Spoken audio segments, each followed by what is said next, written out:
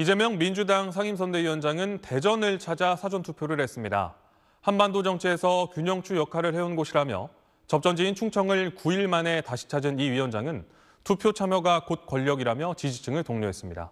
이어서 한소희 기자입니다. 대전을 찾아 카이스트 학생들과 함께 사전투표를 마친 이재명 민주당 상임선대위원장. 정부의 R&D 예산 삭감을 부각시켜 비판하는 동시에 20, 30대 청년층 표심을 잡기 위한 행보입니다. 이 연구개발 영역에 낭비가 많다라는 이유로 예산을 삭감하는 건 정말로 무지한 행위다. 정부 정책의 이 무지, 무지함 뭐 이런 것들을 좀 지적하고 이 위원장은 접전지 50에서 60곳에서 과반 의석을 차지할 정당이 결정되는 만큼 거듭 낙관론을 경계했습니다.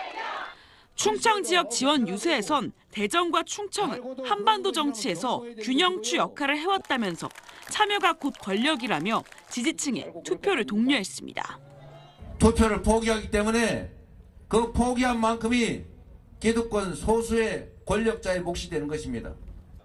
이 위원장은 선관위가 투표소 안에 대파 반입을 제한하는 내부 지침을 마련했다는 소식을 듣고 해괴한 일이라고 비판했습니다.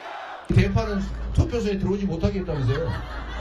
그러면 디올백도 못 들어가게 되는 거 아니야?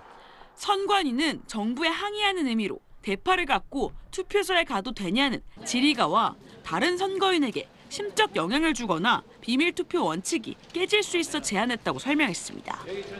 민주당 후보 지원을 벌이고 있는 문재인 전 대통령은 경남 양산에서 사전 투표를 한 뒤 투표로 현 정부를 정신 차리게 해야 한다고 말했습니다.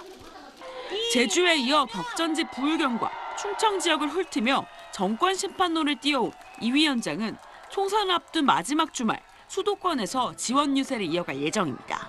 SBS 한소입니다.